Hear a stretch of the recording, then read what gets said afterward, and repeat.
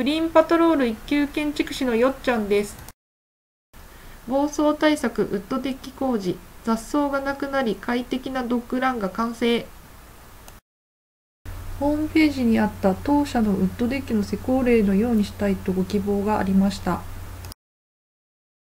ご希望に合わせたウッドデッキにするため、すべて取り替えることにしました。お庭はくつろげる空間となってテーブルセットを置きました。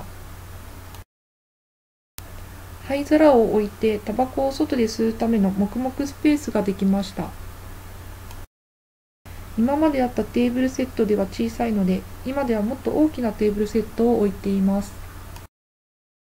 ワンちゃんが裏通路へ脱走しないための門扉を設置しました。裏の敷地も防草シートと砂利敷きで雑草抜きの手間がいりません。愛犬のフレンチブルドッグのワンちゃん2匹です。ワンちゃんも広々としたウッドデッキの空間に大喜びです。